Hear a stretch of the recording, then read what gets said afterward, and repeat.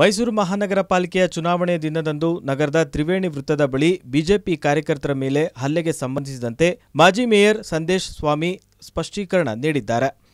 ಶನಿವಾರ ಮಾಧ್ಯಮಗಳೊಂದಿಗೆ ಮಾತನಾಡಿದ ಅವರು, ನನ್ನ ಹಾಗೂ ನನ್ನ ಪುತ್ರನ ಮೇಲೆ ಯಾವುದೇ ರೀತಿಯ ಮಾರಣಾಂತಿಕ ಹಲ್ಲೆ ಆಗಿಲ್ಲ ನನ್ನ ಜೊತೆಗಿದ್ದ ನಮ್ಮ ಬಿಜೆಪಿ ಪಕ್ಷದ ಕಾರ್ಯಕರ್ತರ ಮೇಲೆ ಹಲ್ಲೆ ಆಗಿದೆಯಷ್ಟೇ ಎಂದು ತಿಳಿಸಿದ್ದಾರೆ.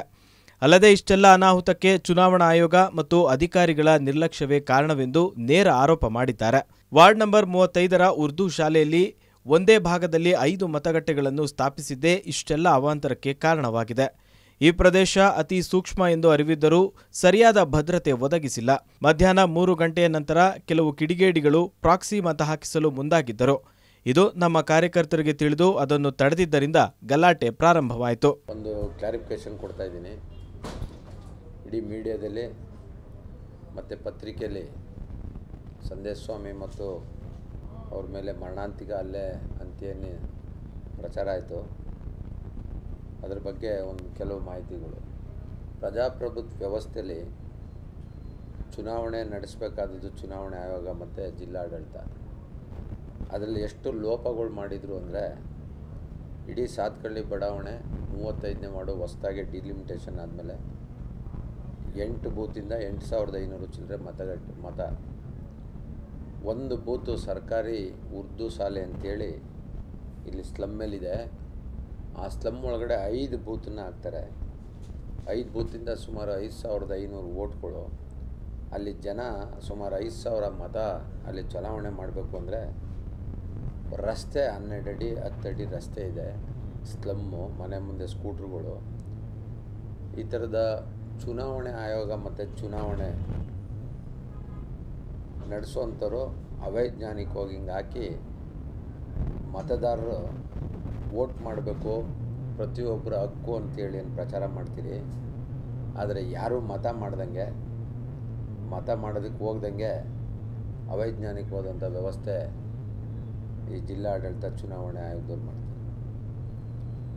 ಅಲ್ಲಿ ಸುಮಾರು ಐದು ಬೂತು, ಐದು ಬೂತಿಂದ ಕಾರ್ಯಕರ್ತರು ಸುಮಾರು ಐನೂರು ಜನ ಇದ್ದಾರೆ. ಹತ್ತಡಿ ರಸ್ತೆಯಲ್ಲಿ ಇಡೀ ರೋಡ್ ತುಂಬ ನಿಂತಿದ್ದಾರೆ. ಯಾವೊಬ್ಬ ಮತದಾರನೂ ಹೋಗಿ ಮತ ಮಾಡೋದಕ್ಕೆ ಎದುರ್ಕೊಂಡು ಯಾರು ಮತ ಮಾಡೋಕ್ಕೆ ಬಂದಿಲ್ಲ.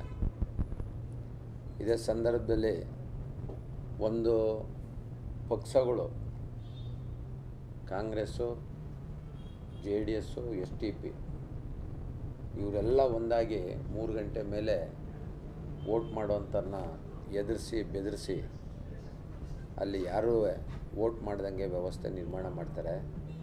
ನಾಲ್ಕು ಗಂಟೆಗೆ ಸರಿಯಾಗಿ ಗಲಾಟೆ, ದೊಂಬಿ ಗಲಾಟೆ ಮಾಡಿ ಕಾರ್ಯಕರ್ತರು ಅಲ್ಲಿ ಯಾರ್ಯಾರಿದ್ರು ಅವ್ರ ಮೇಲೆಲ್ಲ ಹಲ್ಲೆ ಮಾಡ್ತಾರೆ. ಇಡೀ ಪೊಲೀಸು ಸೂಕ್ಷ್ಮ ಮತಗಟ್ಟೆ ಅಂತೇಳಿ ಅದನ್ನು ಹೇಳ್ತಾರೆ. ಆದರೆ ಅಲ್ಲಿಗೆ ನಾಲ್ಕು ಜನ ಪೊಲೀಸ್ನವ್ರು ಆಗ್ತಾರೆ. ಅವ್ರಿಗೆ ಪೊಲೀಸ್ನವ್ರಿಗೇ ಅಲ್ಲಿ ಎಲ್ಲ ಒಗ್ಗಟ್ಟಾಗಿ ಹಿಡ್ಕೊಂಡು ಒಡೆದು ಲಾಠಿ ಕಿತ್ತಿ ಅವರು ಓಡೋಯ್ತಾರೆ. ಇಂಥ ಸಂದರ್ಭದಲ್ಲಿ ಇಂಥ ವ್ಯವಸ್ಥೆಯಲ್ಲಿ ಚುನಾವಣೆ ಆಯೋಗದವರು, ಚುನಾವಣೆಗೆ ಸಂಬಂಧಪಟ್ಟವರು ಈ ಥರ ಅವ್ಯವಸ್ಥೆಯಿಂದ ಕೂಡಿ ಎಲ್ಲ ಗಲಭೆ ಮಾಡಿ ಮತದಾರರು ಓಟ್ ಆಗದೇ ಇರುವಂಥ ವ್ಯವಸ್ಥೆ ಇನ್ನು ಈ ಪ್ರಕರಣದಲ್ಲಿ ಶಾಸಕ ತನ್ವೀರ್ ಸೇಠ್ ಅವರ ಮೇಲೆ ಗಂಭೀರ ಆರೋಪ ಮಾಡಿರುವ ಸಂದೇಶ್ ಸ್ವಾಮಿ. ಈ ಭಾಗದಲ್ಲಿ ಇಪ್ಪತ್ತು ವರ್ಷದಿಂದ ಶಾಸಕರಾಗಿರುವ ತನ್ವೀರ್ ಸೇಠ್ ಅವರಿಗೆ ಹಿಂದೂ, ಮುಸ್ಲಿಂ ಒಂದಾಗಿರುವುದು ಇಷ್ಟವಿಲ್ಲ. ಆದ್ದರಿಂದ ಈ ಭಾಗದಲ್ಲಿ ಆಗಾಗ್ಗೆ ಇಂತಹ ಗಲಭೆಗಳನ್ನು ನಡೆಸುವ ಕಿಡಿಗೇಡಿಗಳಿಗೆ ಪ್ರೋತ್ಸಾಹ ನೀಡುತ್ತಿದ್ದಾರೆ. ಇಲ್ಲಿಯವರೆಗೆ ನಡೆದಿರುವ ಘಟನೆಯಿಂದ ನಿನ್ನೆಯ ಘಟನೆಯವರೆಗೂ ತಾನೊಬ್ಬ ನರಸಿಂಹರಾಜ ಕ್ಷೇತ್ರದ ಜನಪ್ರತಿನಿಧಿಯಾಗಿ ಯಾವುದೇ ರೀತಿಯ ಸ್ಪಷ್ಟೀಕರಣವಾಗಲಿ ಅಥವಾ ಅದರ ಬಗ್ಗೆ ಕ್ರಮ ಜರುಗಿಸುವಂತೆ ಅಧಿಕಾರಿಗಳಿಗೂ ಸೂಚಿಸಿಲ್ಲ. ಇಲ್ಲಿನ ಅಧಿಕಾರಿಗಳು ಇವರ ಕೈಗೊಂಬೆ ಆಗಿದ್ದಾರೆ ಎಂದು ಆರೋಪಿಸಿದ್ದಾರೆ. ಇಡೀ ನರಸಿಂಹರಾಜ್ ಕ್ಷೇತ್ರದಲ್ಲಿ ಕೆಲವು ಕಿಡಿಗೇಡಿಗಳು ಇಲ್ಲಿರುವಂಥ ಸಮಾಜವನ್ನು ಒಡೆದು ಎರಡು ವರ್ಗಗಳಾಗಿ ವಿಂಗಡಿಸಬೇಕು ಅಂತೇಳಿ ಪ್ರಯತ್ನ ಪಡ್ತಾ ಇದ್ದಾರೆ. ಸಾಮಾನ್ಯ ಜನ ಮಧ್ಯಮ ವರ್ಗದವರು ಕೆಳವರ್ಗದವರು ವಾಸ ಮಾಡುವಂಥ ಸಂದರ್ಭದಲ್ಲಿ ಚುನಾವಣೆ ಟೈಮಲ್ಲಿ ಅದರಲ್ಲೂ ವಿಶೇಷವಾಗಿ ಇಲ್ಲಿ ಈ ಭಾಗದ ಜನಪ್ರತಿನಿಧಿನಲ್ಲಿ ಇಪ್ಪತ್ತು ವರ್ಷದಿಂದ ತನ್ವೀರ್ ಸೇಠ್ ಅವರು ಶಾಸಕರಾಗಿದ್ದಾರೆ. ಈ ಥರದ್ದು ಭಾಳಷ್ಟು ಗಲಭೆಗಳಾಗಿದೆ. ರಾಜು ಹತ್ಯೆ ಆಗಿದೆ. ಕೆಲವು ಕಿಡಿಗೇಡಿಗಳು ಈ ರೀತಿ ಹಿಂದೂ ಮುಸ್ಲಿಂ ಗಲಾಟೆ ಬಿ ಜೆ ಪಿ ಪಕ್ಷ, ಆ ಪಕ್ಷ, ಈ ಪಕ್ಷ ಅಂತೆಲ್ಲ ಗಲಾಟೆ ಮಾಡಿ ಹಲ್ಲೆ ಮಾಡ್ತಾರೆ. ಇದ್ರ ಬಗ್ಗೆ ಒಂದು ದಿನವೂ ಇವತ್ತಿನವರೆಗೂ ನರಸಿಂಹರಾಜ್ ಕ್ಷೇತ್ರದಲ್ಲಿ ವಾಸ ಮಾಡೋರು ನೆಮ್ಮದಿಯಾಗಿರಬೇಕು. ಅವರು ನೆಮ್ಮದಿಯಾಗಿರಬೇಕು ಅನ್ನೋ ಒಂದು ಪ್ರಯತ್ನನ ಇವತ್ತಿನವರೆಗೂ ಆ ಶಾಸಕರು ಮಾಡಲಿಲ್ಲ ನೆನ್ನೆ ಉದಾಹರಣೆಗೆ ಅವರ ಪಿ ಎ ಸುಮಾರು ಮೂವತ್ತು ವರ್ಷದಿಂದ ಅವ್ರ ಜೊತೆಯಲ್ಲಿದ್ದವ್ರನ್ನ ಹೇಗಾದರೂ ಮಾಡಿ ಈ ಭಾಗದಲ್ಲಿ ನಗರ ಪಾಲಿಕೆ ಸದಸ್ಯರು ಮಾಡಬೇಕು ಅಂಥೇಳಿ ಜನನ ಎತ್ಕಟ್ಟಿ, ಅವರ ಕುಮ್ಮ ಕೊಟ್ಟು, ಗಲಾಟೆ ಮಾಡಿ, ಅಲ್ಲಿದ್ದಂಥ ಕಾರ್ಯ ಬಿ ಜೆ ಪಿ ಕಾರ್ಯಕರ್ತರಿಗೆ ಹೊಡೆದು ಅವ್ರಿಗೆ ಮಾನಸಿಕ ಮಾ ಹಲ್ಲೆ ಮಾಡ್ತಾರೆ. ಅವರೆಲ್ಲ ಹಾಸ್ಪಿಟಲ್ ಸೇರಿದ್ದಾರೆ. ಅವ್ರಿಗೆ ಟ್ರೀಟ್ಮೆಂಟ್ ಆಗಿದೆ, ಮೀಡಿಯಾದಲ್ಲಿ ಬಂದಿದೆ. ಸೌಜನ್ಯಕ್ಕಾದರೂ ಈ ಶಾಸಕರು ಬಂದು ಎಂ ಪಿ ಅವ್ರು ಬಂದು ವಿಚಾರಿಸ್ಕೊಂಡು ಹೋದರು. ಸಮಾಧಾನವಾಗಿರಿ, ಯಾವುದು ಗಲಾಟೆ ಮಾಡಬೇಡಿ ಅಂಥೇಳಿ ಆದರೆ ಆ ಶಾಸಕರಿಗೆ ಕನಿಷ್ಠ ಸೌಜನ್ಯತನವೇ ಏನಾಗಿದೆ, ಅವ್ರಿಗೆ ಜವಾಬ್ದಾರಿ. ಅವರ ಕಾನ್ಸ್ಟಿಟ್ಯೂನ್ಸಿಲಿ ಅವರ ಕ್ಷೇತ್ರದಲ್ಲಿ ಯಾರಾರ ಗಲಾಟೆ ಆಗಿ, ಈ ಥರ ಹಿಂದೂ ಮುಸ್ಲಿಂ ಗಲಾಟೆ ಆದರೆ ಯಾಕೆ ಆಗಿದೆ, ಏನಾಗಿದೆ, ನಾವು ನೆಮ್ಮದಿಯಾಗಿರಬೇಕು ಅಂತ ಹೇಳುವಂಥ ಸೌಜನ್ಯತೆ ಇರಬೇಕು. ಆದರೆ ಇವತ್ತಿನವರೆಗೂ ಅವರು ಗೆಲ್ಲಬೇಕು ಎರಡು ವರ್ಗಗಳಾಗಿ ವಿಂಗಡಿಸ್ಬೇಕು, ಒಂದು ವರ್ಗ ನನ್ನ ಪರ ಇರಬೇಕು, ಇನ್ನೊಂದು ವರ್ಗ ವಿರೋಧ ಮಾಡಿ ನಾನು ಗೆಲ್ಲಿಸ್ಬೇಕು ಅಂತೇಳಿ ಬರೀ ಅವರು ಶಾಸಕರಾಗಬೇಕು ಅನ್ನೋ ಒಂದೇ ಕನಸಿನಿಂದ ಈ ಭಾಗದಲ್ಲಿ ನೆಮ್ಮದಿಯಾಗಿ ಜೀವನ ಮಾಡೋವಂಥ ವ್ಯವಸ್ಥೆ ನಿರ್ಮಾಣ ಮಾಡ್ದೇ ಕೋಮಗಲ್ವೆಗೆ ಇಂಡೈರೆಕ್ಟಾಗಿ ಸಹಕಾರಿಯಾಗಿದ್ದಾರೆ. ಎಲ್ಲಕ್ಕಿಂತ ಭಾಳ ಮುಖ್ಯವಾಗಿ ಯಾರ್ಯಾರು ನರಸಿಂಹರಾಜ್ ಕ್ಷೇತ್ರದಲ್ಲಿ ಅಧಿಕಾರಿಗಳಿದ್ದಾರೆ, ಅವರೆಲ್ಲ ಶಾಸಕರ ಕೈ ಒಮ್ಮೆ ಆಗಿದ್ದಾರೆ. ಅವ್ರು ಏನು ಹೇಳ್ತಾರೆ ಅದೇ.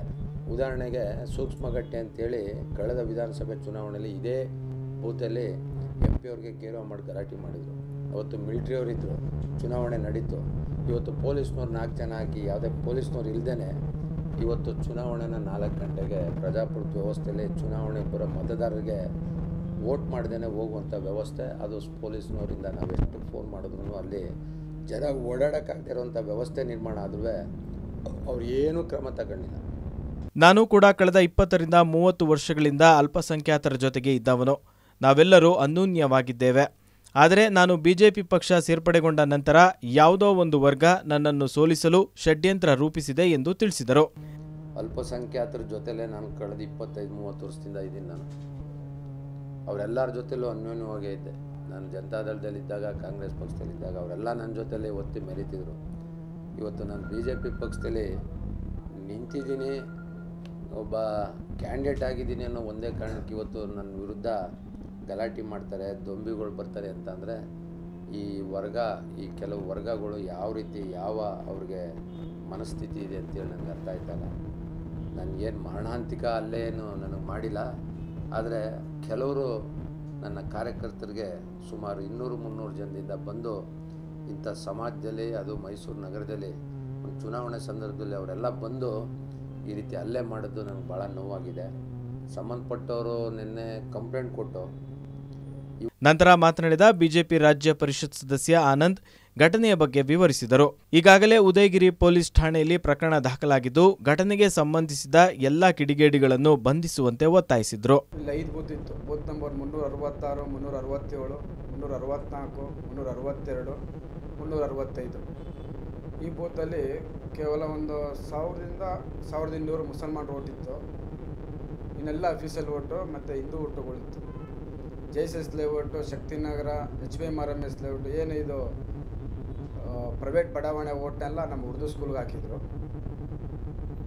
ಈ ಸಾವಿರದ ಇನ್ನೂರು ಮತದಾರರು ಏನು ಮುಸಲ್ಮಾನರಿತ್ತು, ಅಲ್ಲಿಗೆ ಕನಿಷ್ಠ ಅನ್ನೋ ಒಂದು ಒಂದೂವರೆಯಿಂದ ಎರಡು ಸಾವಿರ ಕಾರ್ಯಕರ್ತರಿದ್ದರು ನಾವು ಬೆಳಗ್ಗೆ ಅನ್ಕೊಂಡ್ವಿ, ಏನೋ ಒಂದು ಅನಾಹುತ ಆಗ್ಬೋದು ಅಂತ ನಮಗೆ ಬೆಳಗ್ಗೆ ಅನಿಸ್ತಾ ಇತ್ತು. ಸಂಬಂಧಪಟ್ಟ ಅಧಿಕಾರಿಗಳಿಗೆಲ್ಲ ನಾನೇ ಸ್ವತಃ ಫೋನ್ ಮಾಡಿ, ರಿಟರ್ನಿಂಗ್ ಆಫೀಸರ್ಗೂ ಕೂಡ ಐದಾರು ಬಾರಿ ಕಂಪ್ಲೇಂಟ್ ಮಾಡಿ, ಒಂದು ಎರಡು ಮೂರು ಬಾರಿ ಬಂದು ಹೋದರು. ಆದರೆ ಇಲ್ಲಿ ರಕ್ಷಣೆಗೆ ಸಿಬ್ಬಂದಿ ಕೊರತೆಯಿಂದ ನಮಗೆ ಹಿಂಗಾಗಿದೆ. ನಾವು ಒಳಗಿದ್ದಂಥ ಪೊಲೀಸ್ ಏಜೆಂಟ್ಗಳಿಗೂ ಕೇಳಿದ್ವಿ, ಒಳಗೆ ಯಾವುದೇ ರೀತಿ ಆಯ್ತಿರಲ್ಲ ಒಳಗಡೆಗೆ ಹೋಗೋಕ್ಕೆ ಮತದಾರಕ್ಕೆ ಬಿಡಲಿಲ್ಲ. ಆದರೂ ಅವರು ಮಾಡಲೇಬೇಕು ಅಂತ ನಾವೂ ಐದು ಬೂತಿಂದ ಮೇಲ್ಗಡೆ, ಕೆಳಗಡೆ ಓಡಾಡಿ ಓಡಾಡಿ ನಾವೂ ತಿರುಗಾಡ್ತಾ ಇದ್ವಿ. ಕೊನೆಗೆ ನಾಲ್ಕು ಗಂಟೆ ಹದಿನೈದು ನಿಮಿಷ, ನಾಲ್ಕು ಕಾಲು ಆ ಸಮಯದಲ್ಲಿ ಒಬ್ಬ ಯುವಕ ಸುಮಾರು ಒಂದು ಹತ್ತು ಬಾರಿ ಹೋಗೋದು, ಬರೋದು ಹೋಗೋದು, ಬರೋದು ಮಾಡ್ತಾಯಿದ್ದ ಏ, ಏನಕ್ಕಪ್ಪ ಹಿಂಗೆ ಹೋಗ್ತಾಯಿದೆ ಅಂತ ಕೇಳಿದ್ವಿ. ಏಯ್ ನೀನೇನೋ ಕೇಳೋದು, ನಾನು ನೂರು ಬಾರಿ ಬೇಕಾದ್ರೆ ಹೋಗ್ತೀನಿ, ನೀನೇನು ಕೇಳೋದು? ಅಂತ ಕ್ರಾಸ್ ವೆರಿಫಿಕೇಷನ್ ಮಾಡ್ದ. ಬೂತ್ ಒಳ, ಒಳಗಡೆಗೆ, ಹೌದು. ನಾವು ಪೊಲೀಸ್ ಸಿಬ್ಬಂದಿಗೂ ಅವ್ರು ಯಾರು ಹೋಗ್ತಾಯಿದ್ರು ಪ್ರತಿ ಕ್ಷಣ ತೋರಿಸ್ತಾ ಇದ್ವಿ. ಯಾಕೆ ಸರ್ ನಮಗೊಂಥರ ಮಾಡ್ತೀರಾ, ಅವ್ರಿಗೊಂಥರ ಮಾಡ್ತೀರಾ ಅಂತ. ಆ ರೀತಿ ಹೋಗಿ ಬರ್ತಾಯಿದ್ರು ಅಲ್ಲಿದ್ದಂಥ ನಮ್ಮ ಯುವಕರು, ಕಾರ್ಯಕರ್ತರು ಏಯ್ ಯಾಕಪ್ಪ ಹೋಗ್ತೀವಿ ಅಂದರೆ ಏಯ್ ನೀವೇನೋ ಕೇಳಿದೆ, ಏಕಾಏಕಿ ಬಂದು ನಮ್ಗೆ ದಾಳಿ ಮಾಡಿದ್ರು. ನಮ್ಮ ಕಾರ್ಯಕರ್ತ ಇಲ್ಲಿ ಲೋಕಲ್ ನಮ್ಮ ಕಾರ್ಯಕರ್ತ ಗೋವಿಂದ ಅಂತ, ಅವನಿಗೆ ನಮ್ಮ ಇಲ್ಲಿ ಮಾಜಿ ಕಾರ್ಪೊರೇಟ್ರು ಕಮ್ರುದ್ದೀನ್. ಏಕಾಏಕಿ ಹೊಡೆದ್ರು ಅವರೊಬ್ಬರು ಯಾವಾಗ ಕೈ ಮಾಡಿದ್ರು, ಎಲ್ಲರೂ ನಮ್ಮ ನಮ್ಮರ ಆದ್ಮೇಲೆ ಅಮರ ಆದ್ಮೇಲೆ ಮಾರ ಅಂತ ಅಂದ್ಬಿಟ್ಟು ಎಲ್ಲರೂ ಅಡ್ಡಾಡ್ಸ್ಕೊಂಡು ತ್ರಿವೇಣಿ ಸರ್ಕಲ್ ಅಡ್ಡಾಡ್ಸ್ಕೊಂಡು ಬಂದರು. ಇದೊಂದು ನಿಜಕ್ಕೂ ಒಂದು ಬೇಸರ ಸುದ್ದಿ. ಇಪ್ಪತ್ತೈದು ವರ್ಷದಲ್ಲಿ ಇತಿಹಾಸ ಈ ಥರ ಇರಲಿಲ್ಲ. ನಾವೆಲ್ಲ ಕೇಳಿದ್ವಿ. ಓ ಕ್ಯಾತ್ಮೇಳಿಲಿ ಆಗುತ್ತೆ ಶಾಂತಿನಗರದಲ್ಲಿ ಆಗುತ್ತೆ ಅಂತ. ಕಲ್ಯಾಣಗಿರಿ ಶಾಂತಿಯಾಗಿತ್ತು. ಈ ಕಿಡಿಗೇಡುಗಳು ಈ ರೀತಿ ಮಾಡಿದ್ದು ನಿಜಕ್ಕೂ ನಮಗೆ ದೌರ್ಭಾಗ್ಯ.